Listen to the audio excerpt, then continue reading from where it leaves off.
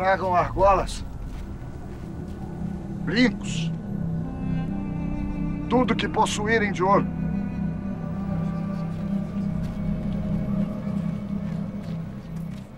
Tomou a decisão acertada, Arão. Dê ao povo o que ele quer e logo tudo ficará em ordem novamente. O que está vendo aqui, Arão? Sim, porque está pedindo ouro para as nossas mulheres. Arão enlouqueceu. Ele vai construir um ídolo. Meu pai não está no seu estado normal. Se fosse outros tempos, ele não concordaria com isso. Eu também falei com Arão, só que não adiantou.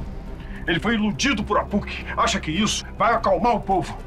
Só vai enfurecer o Deus de Israel.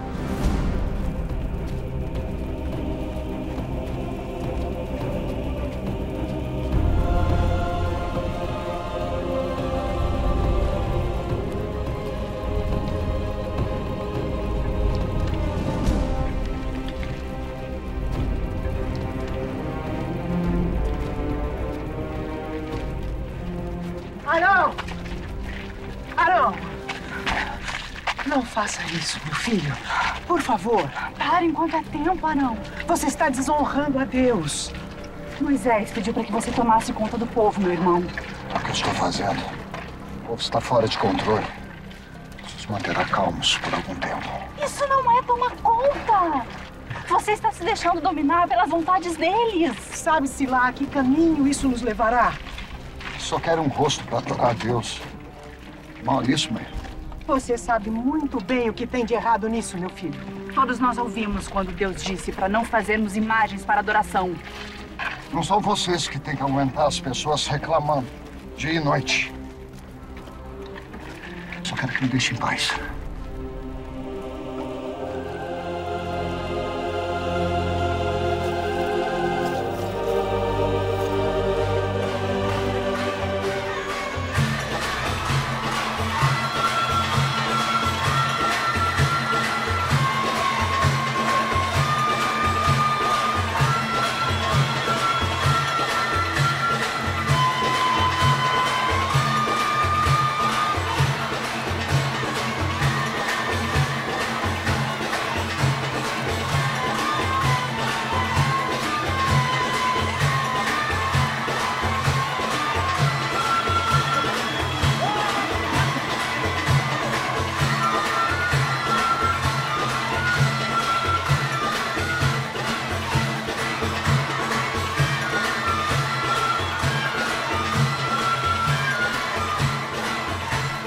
Pai, pai, isso é absurdo. Para, Puck. Se metam. Eu sei o que estou fazendo. Você pode pagar caro. Deus está vendo. Arão concordou comigo. Saiam daqui. Saiam.